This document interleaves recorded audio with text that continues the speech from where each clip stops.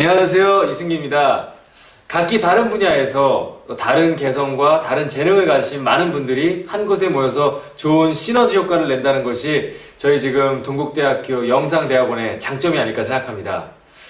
현재 저는 동국대학교 이제 영상대학원에서 공부하고 있는 학생으로서 음, 이 분야에서 일은 하고 있지만 이런 걸 어디 가서 배워야 할까? 혹은 아 이런 게 조금 더 깊이 있게 배우고 싶은데 어떤 식으로 공부해야 할까라는 궁금증을 항상 갖고 있었는데 동국대학교 영상대학원에서 그런 궁금증과 호기심을 항상 해결해 주는 것 같습니다.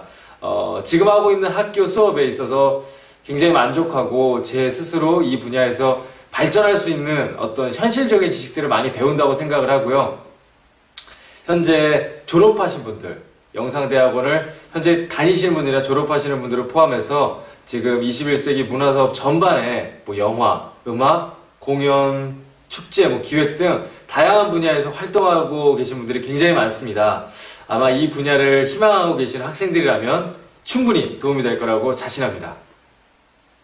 동국대학교 영상대학원은요, 21세기 문화사업을 주도해갈 그런 인재를 키우는 곳이니까요, 여러분들께서 궁금하시고 호기심이 있으시다면 반드시 도움이 되실 거라 믿어 의심치 않고요, 이런 흔치 않은 기회를 같이 함께 공부할 수 있는 시간이 되었으면 좋겠습니다.